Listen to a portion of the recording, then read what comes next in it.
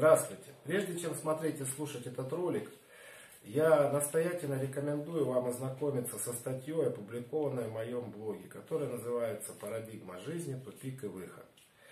Ссылка на блог находится в описании к этому видео. Почему я рекомендую сначала ознакомиться со статьей? Все дело в том, что э, поднимаемые там э, темы и вопросы настолько значимые и важны, что для каждого из нас, что подойти к ним поверхностно, вскользь, просто-напросто не получится. Обязательно нужно принять во внимание и осмыслить ту информацию, которая представлена в статье. Это не только мое мнение, это мнение э, очень многих и ученых и прошлого, и современности. Э, так что читайте, вникайте, смотрите. Самое в статье есть интересное видео, переходите по ссылке. Ну а я, как и обещал в конце статьи, э, расскажу о программе 2020. Итак, концепция программы 2020. Основные тезисы. Вирусы являются универсальной информационной составляющей, можно сказать, адаптационным механизмом, предусмотренным самой природой для всех, для всех, без исключения, форм жизни на Земле. Именно вирусы являются тем информационно-адаптационным механизмом, от правильности работы которого зависит состояние здоровья человека. Другими словами, вирусы взаимодействуют не только с, собственно, клетками человеческого организма, но и с бактериями, грибами, простейшими, находящимися в теле человека. Более того, Именно взаимодействие вирусов с микробиомом человека в подавляющем большинстве случаев предопределяет вектор развития состояния человека под названием болезнь либо здоровье. Именно от того, как именно происходит взаимодействие, прямо отражается на состоянии здоровья человека. Прямо, не косвенно, а прямо. В идеале, как это происходит? Плановый апгрейд. Апгрейдом я называю информационное обновление. В статье об этом тоже написано. Э, происходит в благоприятных внешних и внутренних средах. Что такое внешняя среда? Человек большую часть времени проводит в естественном, э, отрицательном, ну это идеал, да, как бы, э, естественном, отрицательном электростатическом поле Земли. Ходит ногами по земле, в окружении природных эко-конгломераций, лес, река, река, животные и так далее питается натуральными продуктами, дышит чистым воздухом, пьет родниковую воду. То есть в полном э, согласии и единении с природой. А что же тогда внутренняя среда человека, там, где проживает, собственно говоря, микробиом? При таком сочетании внешней среды внутренняя прямо пропорциональна. Так как микробы неотъемлемая часть внешней среды, то и при высоком ее качестве среда внутренняя не вызывает никакого беспокойства. При такого рода взаимодействии вирусы, клетка и микробиом иммунная система человека поддерживает высокий, высочайший, даже можно сказать, уровень боеготовности. Микробиота находится в уравновешенном состоянии. Нет превалирования одной колонии над другой. Нет состояния войны между микробами. Генные мутации клеток человека и клеток микробов не выходят за рамки допустимого. Организм по-другому суперорганизм, потому что и человек, и микробиом, который его населяет, здоров. То есть абсолютно э, соблюдено главное и неоспоримое э, качество живой природы. Это баланс. Соблюден баланс. Что происходит в нашей современной жизни? То есть от э, идеальных теоретических условий к нашим практическим условиям проживания. Плановый апгрейд информационное обновление происходит вне благоприятных внешних и внутренних средах. Внешняя среда – практически полное отсутствие отрицательного электростатического поля Земли. Особенно в городских условиях. Сплошной бетон, стекло, пластик, асфальт экранируют естественный отрицательный фон Земли. А искусственное электромагнитное излучение, э, так называемые линии высоковольтных электропередач, вышки сотовой связи, домашние бытовые природы, э, приборы и не только, э, довершают картину тотальной изолированности человека от необходимой ему подпитки отрицательным полем Земли. Это так. Массовое скопление людей как следствие молниеносная эпидемичность, принимающая характер, все более и более принимающая характер пандемии, то есть неуправляемой эпидемии. Многократно превышенный уровень загрязненности воздуха, воды и, соответственно, антибиотики в продуктах питания. Даже если, запомните раз и навсегда, если вы не употребляете никакие таблетки в принципе, антибиотики в частности, с продуктами питания, в основном это мясо, молочка, вы получаете антибиотики по полной программе. Внутренняя среда. Тоже правило, э, тоже правило прямо пропорциональности. Только наоборот. При таком сочетании внешней среды, внутренняя микробиота прямо пропорциональна. Так как микробы, еще раз, неотъемлемая часть внешней среды, то при низком ее качестве среда Внутренняя, увы и ах, чрезвычайно низкого качества.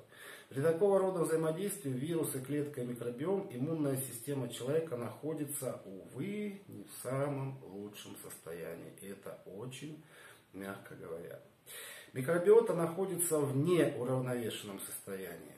Есть постоянное превалирование одних колоний над другими, непрекращающееся состояние войны между микробами – генные мутации клеток человека и клеток микробов выходят за рамки допустимого. Организм, суперорганизм, болен. А что, собственно говоря, мы понимаем под общим названием болезни? Как правило, суть любой, я подчеркиваю, любой болезни является воспалительный процесс. Как у нас говорят, воспаление. И следующая за этим остановка кровообращения. Бывает общая или местная. Ну, под остановкой кровообращения я, конечно же, понимаю не а, остановку а, сердечного кровообращения, то есть когда наш пламенный мотор погаснет, тут уже всему остановка. Нет, капиллярное кровообращение, в первую очередь капиллярное кровообращение, когда нарушается, это называется остановка местного капиллярного кровообращения. Причем более 90% воспалительных процессов в организме человека прямо связано с качественным и количественным составом микробиома человека. И только 10% заболеваний вызвано именно структурными повреждениями клеток самого организма человека, возникающими при травмах различной этиологии, связанных с остановкой кровообращения, общего или местного, с последующим подключения воспалительного процесса, в котором опять же первую скрипку играют бактерии, вирусы, грибы. Проще говоря, без решения вопроса с качественным и количественным составом нашей, нашей вашей микробиоты ни одно заболевание не может быть вылечено. Ни одно. Где же выход? Идеальную среду обитания мы вряд ли сможем обеспечить. Ни за какие деньги не обеспечите что бедный человек, что богатый, воздух один и тот же, еда тоже принципиально не отличается. Это принципиально просто невозможно. Условия внешней и внутренней сред обитания таковы, что в тенденции только ухудшения ситуации. Как бы печально это ни звучало, но это так. А выход, вернее вход в достаточно гармоничную безболезненную среду обитания для человека, он рядом и лежит на поверхности, как говорится. Вот только чтобы увидеть его, надо не только смотреть, надо видеть, надо понимать, надо осознавать общую концепцию построения взаимодополняемой жизни на Земле. Я сейчас не буду уходить в теорию этой концепции, скажу лишь то, что чрезвычайно важно и напрямую касается темы нашей сегодняшней беседы, а именно – в природе нет, не было и не будет никогда четкого разграничения белое, черное, плохое, хорошее. Это условные понятия, выработанные самим человеком в угоду собственного эгоизма. Надо понимать, что если современной науке пока не ясно предназначение более 90% населяющих человека микроорганизмов, это вовсе не означает, что они плохие и несут нам беды и несоизмеримые несчастья. Главное, как я уже говорил, это баланс. Пусть условный, пусть мы до конца не знаем, не понимаем предназначение всех и вся обитателей нашего организма. Но именно балансу сил в поддержанию мира и согласия в среде нашего микробиома и служит программа 2020. Откуда такая уверенность? Именно от осознания того факта, что в процессе жизни, если хотите, микроэволюции, населяющие нас микроорганизмы постепенно претерпевают огромное количество мутаций. И связано это в первую очередь именно с безрассудным потреблением нашей цивилизации искусственно созданных лекарственных средств, и в первую очередь, конечно же, антибиотиков. Совершенно верно утверждение о том, что микромир уже практически никак не реагирует на антибиотики. Резистентности, связанные с этим понятием, э, понятием десятки, сотни новых заболеваний. Но почему-то никто не подумал о том, что из подобного положения вещей люди уже извлекают пользу. Знают они об этом или нет, это уже другой вопрос. Так в чем же польза конкретно э, отдельно взятого человека от того, что его микробиом имеет резистентность ко всем искусственно синтезированным антибиотикам? Именно в том, что микробиота человека, точно так же, как и он сам, чрезвычайно нуждается к возврату исходных, если хотите, стартовых условий для продолжения жизни. Дело в том, что генетическая мутация как клеток человека, так и микробиома, то есть бактерий, э, грибов простейших, не может продолжаться бесконечно долго. Это априори невозможно.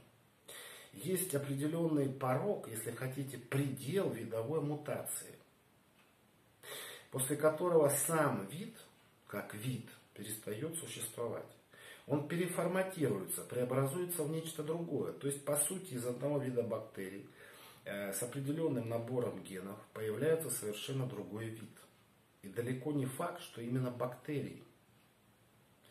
Как далеко может зайти видовая мутация? Я думаю, что очень далеко она может зайти. Не факт в том, что бактери... но факт в том, что бактериям это абсолютно не нравится. Они были вынуждены мутировать, так, э, так как самому их существованию угрожали антибиотики. Тут, как говорится, выбора нет. Хочешь жить, мутируй. Но сейчас ситуация становится обратной. Для того, чтобы жить, им мешает не антибиотик, а критическое число мутаций.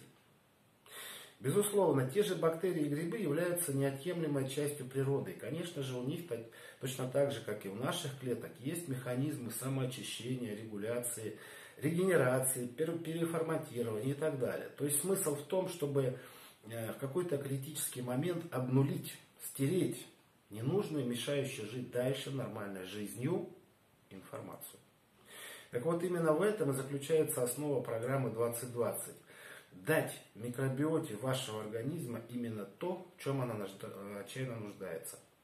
Практически идеальные условия для планового апгрейда. Планового и идеальные условия. Итак, если тезисно повторить основные приоритетные задачи программы 2020, то выглядит они так. Первое. Привести состояние микробиоты организма в состояние баланса. Идеального баланса. Второе. Путем создания практически идеальных условий для планового апгрейда на генном уровне бактерий, грибков и простейших, населяющих организм человека, получить кратное, кратное, повторяю, увеличение потенциала мощности общего иммунитета человека, при котором естественным образом произойдет апгрейд клеток всей иммунной системы человека. Это позволит перейти на новый уровень программы 2020. Программа многоуровневая. И принципиально ликвидировать очаги имеющихся воспалительных процессов при любых заболеваниях во всем организме, в любых его органах и системах. Краткий пример. Одной из самых распространенных на сегодняшний день э, проблем со здоровьем и именно у достаточно молодых людей является ревматоидный артрит и его брат псориатический артрит. От этих заболев... Об этих заболеваниях очень много говорят, но очень мало делает, делается. Почему? Ответ прост. Как только медицина сталкивается с любым аутоиммунным заболеванием, просто я выбрал э, эти артриты, ну, как бы на поверхности лежат. Любое аутоиммунное заболевание возьмите, ситуация будет практически одна и та же. Так вот, э, как только медицина сталкивается с любым аутоиммунным заболеванием, а эти братья и есть самые, что ни на есть, ярчайшие представители этих заболеваний, все, приехали, тушите свет и весла заодно. А аутоиммунные не лечатся. Ну, не лечатся вот они. Так вот, мой подход, в частности, к этой рассматриваемой э, проблеме очень прост. Их не надо лечить. Вот в том понимании, как их лечит современная медицина, их лечить не надо. Это путь никуда. Это просто, э, другими словами, человека прогонят по всем кругам ада, и вместо одного иммунного заболевания у него будет 10. Вот к чему приводит это лечение. Так вот, э, не надо их лечить. Надо создать условия, при, при которых, смотрите пункт 2, там я сейчас все это озвучил. Вот при которых будут идеальные условия для восстановления, для полноценного апгрейда микробиота. Создали эти условия, и аутоиммунная реакция организма, то есть реакции, э, направленные против своих же клеток, они уйдут. А сами аутоиммунные реакции организма есть не что иное, как следствие системных ошибок при выполнении плановых апгрейдов. То есть, э, как клеток микробиома, так и, собственно, клеток непосредственно самого человека. Это системные ошибки, сбои, зависания. Они могли происходить у ваших родителей, потом передаться по наследству вам. Также э, дальше будут передаваться вашим детям, вашим внукам и так далее. Это нормальная вещь, это природа. Так устроены все живые механизмы. То есть наследственная информация, генетическая информация передается. Неважно, плохая она или хорошая, с нашей точки зрения. Так устроена природа. Вот чтобы этого не происходило, чтобы информация не передавалась, условно говоря, плохая, надо проходить, э, понимать, в чем суть программы 2020, о чем я, собственно говоря, и рассказываю.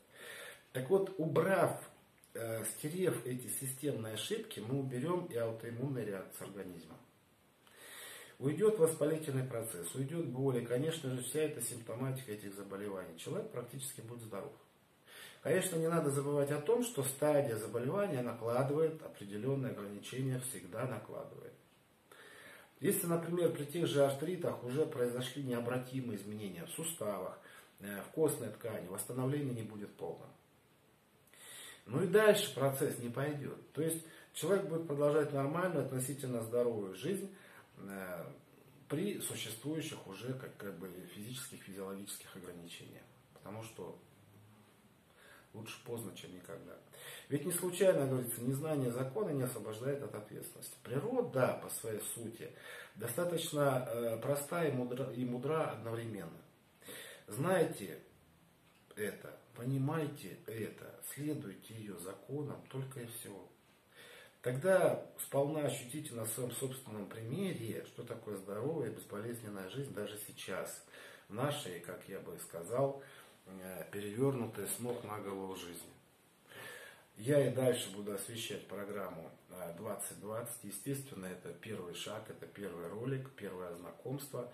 Еще раз повторяю, читайте статью, смотрите видео, которые там Э, даны ссылочки, прочитайте. Я специально подобрал эти статьи, я специально подобрал это видео, потому что это как бы отражает общий взгляд на существующую, на имеющуюся проблему на сегодняшний день, общий как бы взгляд э, науки.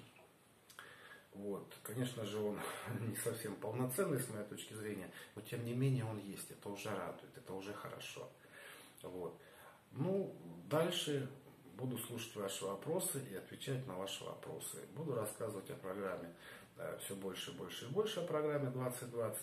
Э, сразу еще раз просто напоследок хочу уточнить. Программа многогранная, всеобъемлющая, а подходит практически под все известные типы заболеваний, э, которыми как бы человек сам себя наградил. На этом все. Желаю вам удачи и здоровья.